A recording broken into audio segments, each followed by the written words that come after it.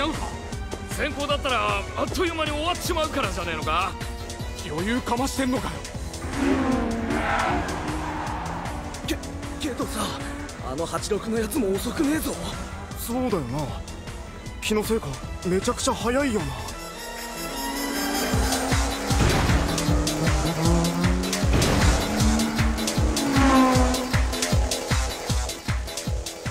先行で来るんじゃないかと思ってたが後追いを選んだかさすがというか賢明だな。兄貴。ん？さっき藤原がスタートする前携帯で何か言ってたろ。どんなアドバイスをしたんだ？アドバイスというほどのものじゃないけどな。基本的な指示を2つしただけだ。どんな？1本目が終わるまでバックミラーは絶対見るなと言ったんだ。バックミラー？つまり後ろを見るなってことか。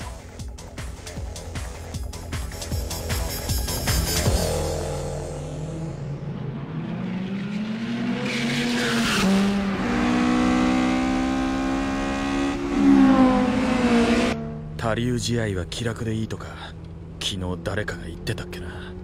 たく冗談じゃねえぜ。このまま東道塾のバトルに参加しても通用するレベルだぜ。一体何者なんだ？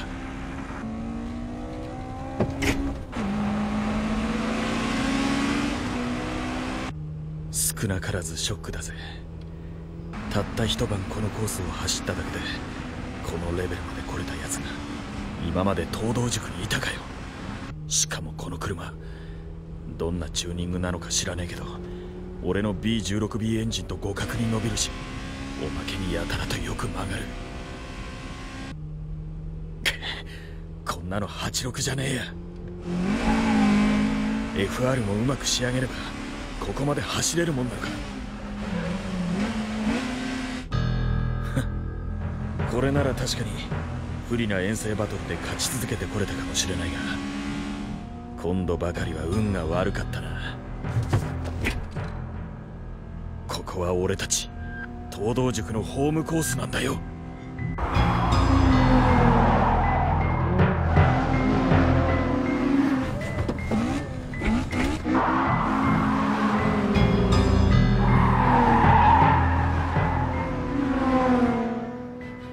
まで散々バカにしてた相手の86だけどスタート直前に何か感じるもんがあったんじゃないですかね。それが多分後追いを選んだ理由ですよ。ん？俺でもきっと同じ選択をすると思いますよ。群馬エリア最速と言われてる奴らがどんな走りをするのか後ろで見てみたいし。期待を裏切るようなヘボな走りならぶち抜いて終わらせてしまえばいいんだから。それもそうだな。現役では一番うまいって言われてんだろ？あいつは。何が得意なんだ？大輝はブレーキングがうまいんです。ブレーキングって聞くと地味な感じしますけどね。いやどこが地味なもんかよ。ダウンヒルでそれほどすごい武器はないぜ。東道塾上がりならその理由は嫌っていうほど分かってることだろ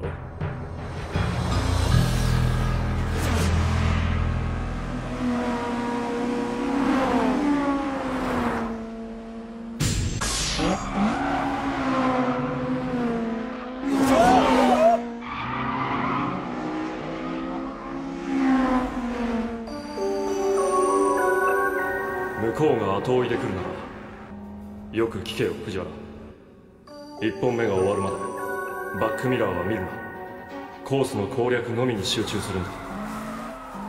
自分の走りをすれば抜かれることはない。いいか藤原。後ろは絶対に振り返るな。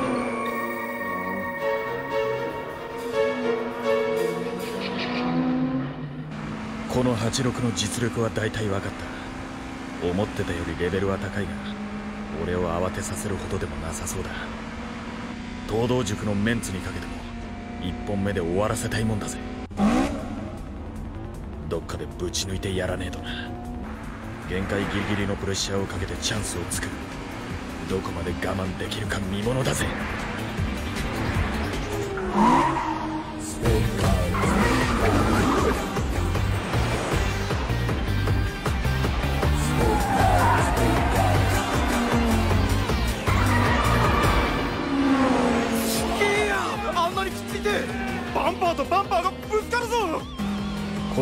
では FR より FF の方が速いってことは今や常識だからな。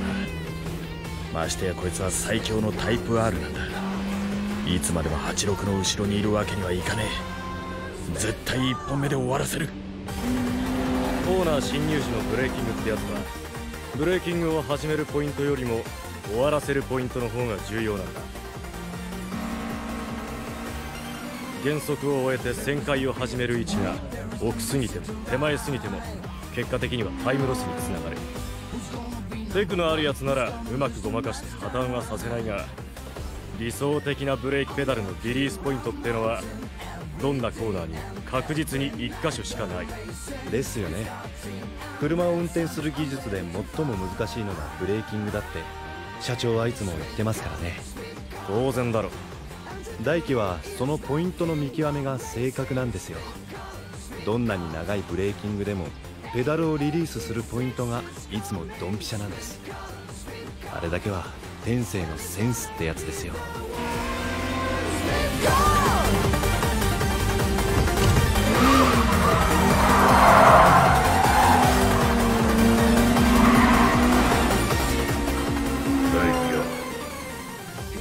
近頃はレースの世界でも ABS は常識なんだ。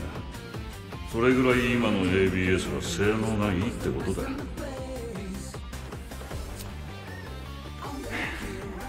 けどな。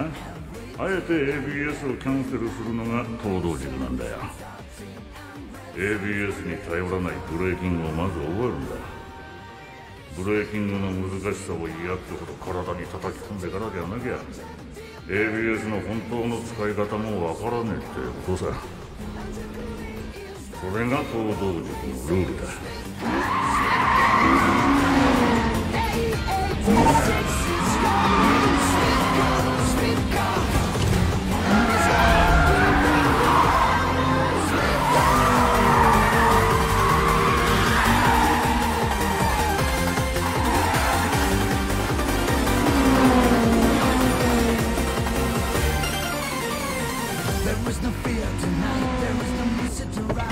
ーラインがないこのコースだけど道幅は十分広い。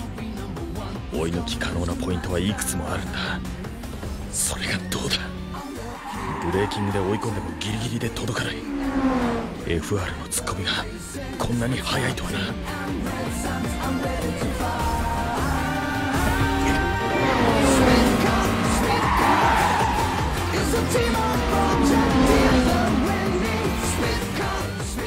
っげえなあのくっつき方は半端じゃないぜ。ありゃどう見たって二宮の EK9 の方が圧倒的に速いってことだぜ。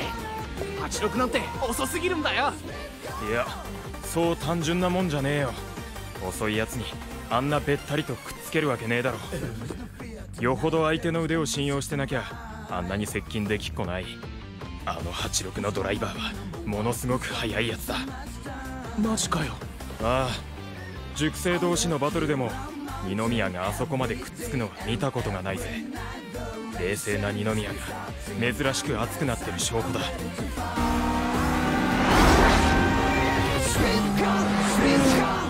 それにしても精神力の強いやつだ。いくらプレッシャーをかけても手応えがない。東道塾の人間でもここまでやりゃ間違いなく反応が返ってくるけどな。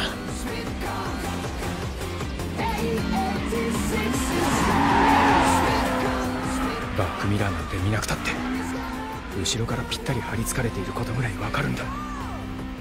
背中からピリピリと痛いほど圧力を感じる。だけど後ろを見ないと決めてかかれば不思議といい感じで集中できる。涼介さんの指示は2つ。それを守るだけだ。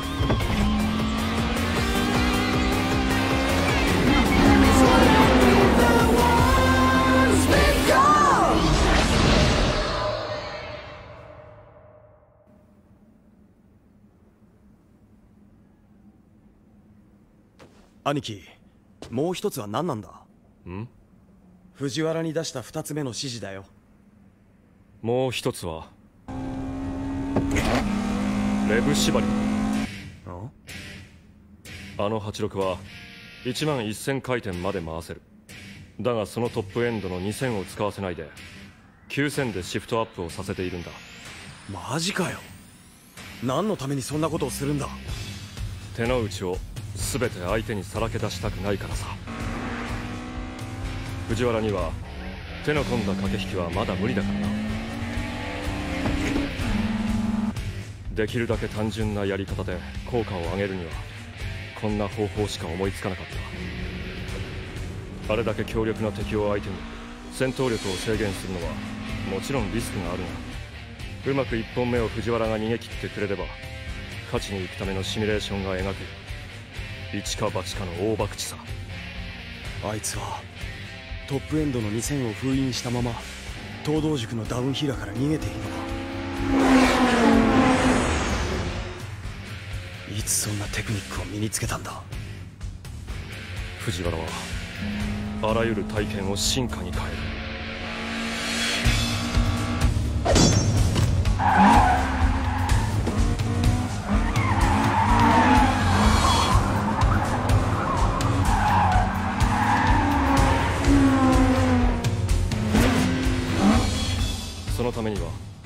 並外れた集中力が必要になる。なるほどな。後ろを見るなというアドバイスはそのためか。相手のプレッシャーに動揺して集中力を乱さないように。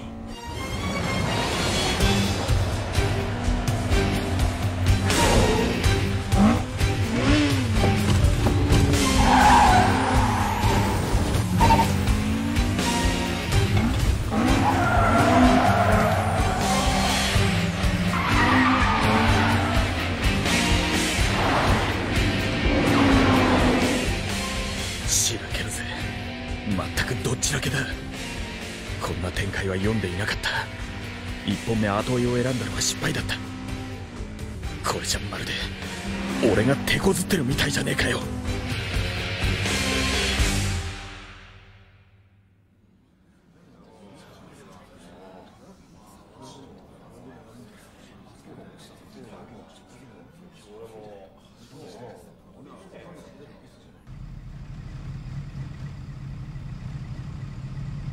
ああ。それじゃあ2本目。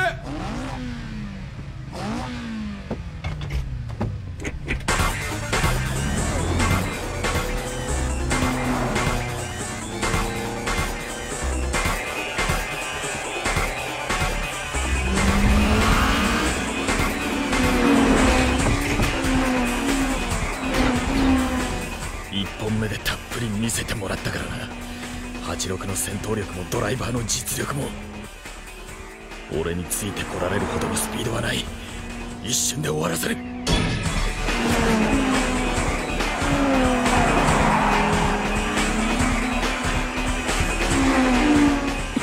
速い。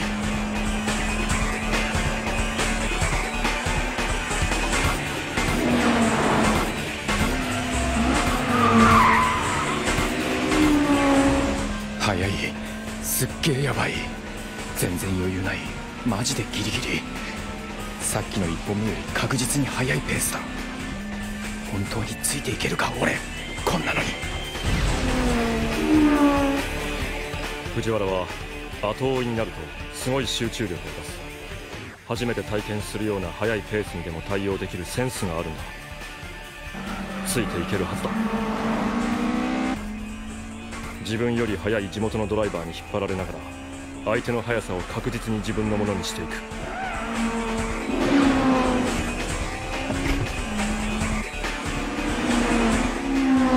俺のシミュレーション通りに展開すれば東道軸を出し抜ける。頼むぜ藤原。お前のセンスが頼りなんだ。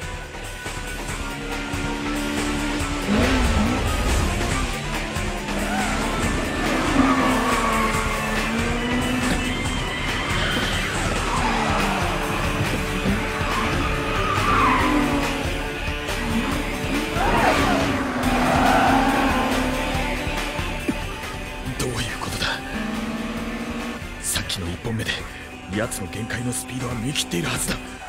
確実に今それを超えるスピードで走っているんだ。ついてこれるわけがない。なぜそこにいる？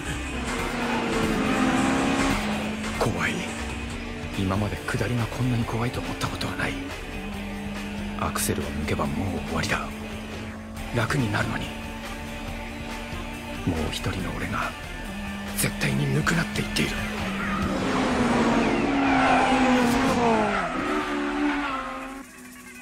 マジかよそれ。うん。分かった。第一ヘアピンからの報告だけど全然差がついてないそうだ。どういうことなんだ。問題だぞこりゃ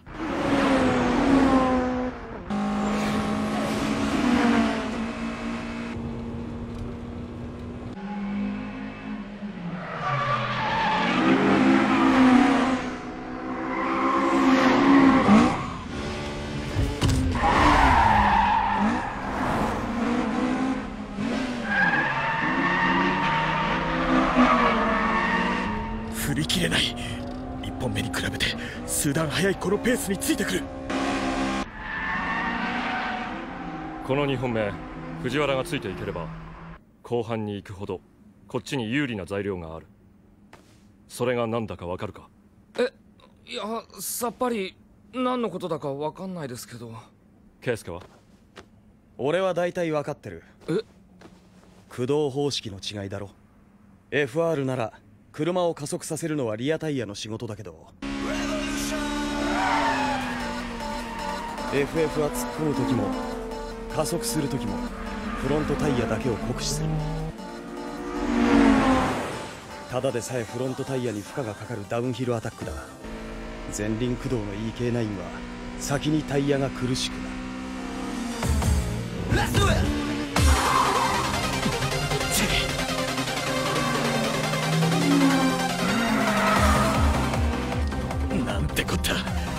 本目で蹴りをつけられると思って無理なラインから強引に行き過ぎた。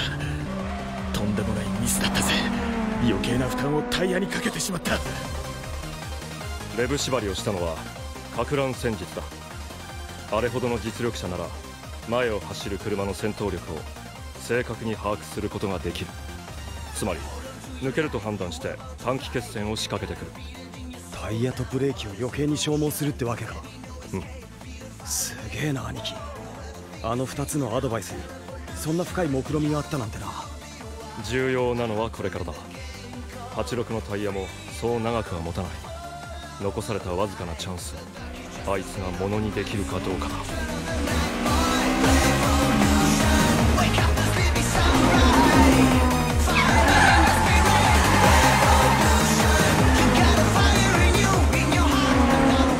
やっぱり気のせいじゃない。向こうのツッコミが急に鈍くなってきた。タイヤか。タイヤが熱だれ起こしてるな。今ならまだこっちのタイヤは手応えがある。この速い EK をぶち抜いて終わらせるぜ。このバトル。兄貴ならこの状況でどこに突破口を見出す？どこの峠でもきっちり攻め込めば攻め込むほどどうしてもギア比の合わないポイントがあるだろう。例えばコーナーへ向かって加速している途中にギアを一段上げるかどうか迷ってしまうようなポイントが。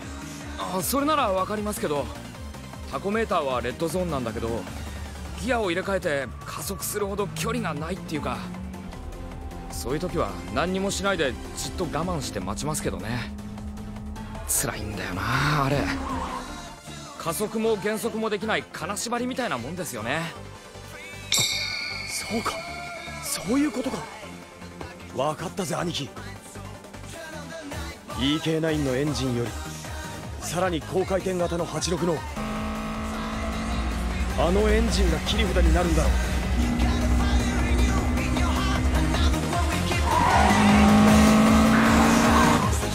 トップエンドの2000回転を封印して相手に見せなかったアドバイスの本当の狙いはそれだったのか？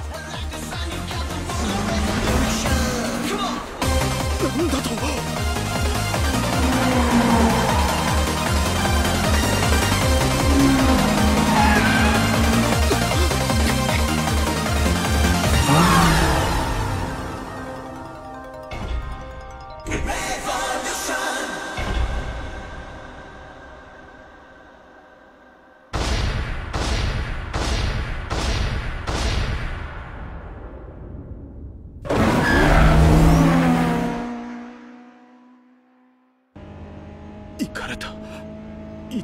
得意なブレーキングで逆にこの俺が抜かれた。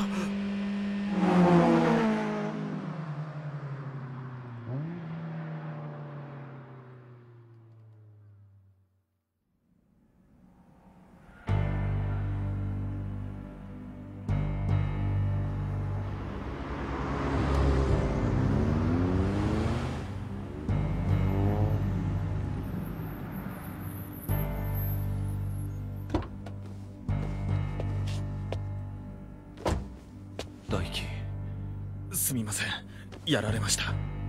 どうなってんだよ一体。信じらんねえぞ。地元でお前が負けるなんて。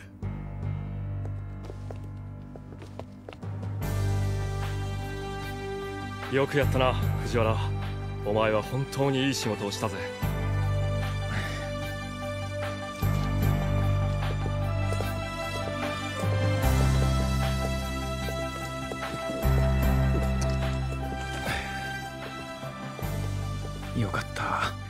無我夢中で冷や汗ダラダラだったけど涼介さんがあんな顔するのめったにないから俺はちゃんと涼介さんの期待に応えられたんだな。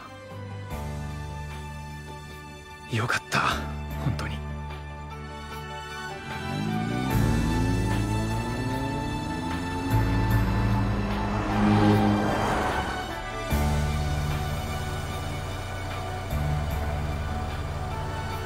圭介さん。ださいよ。言われるまでもねえ。攻めるぜ。1本目から。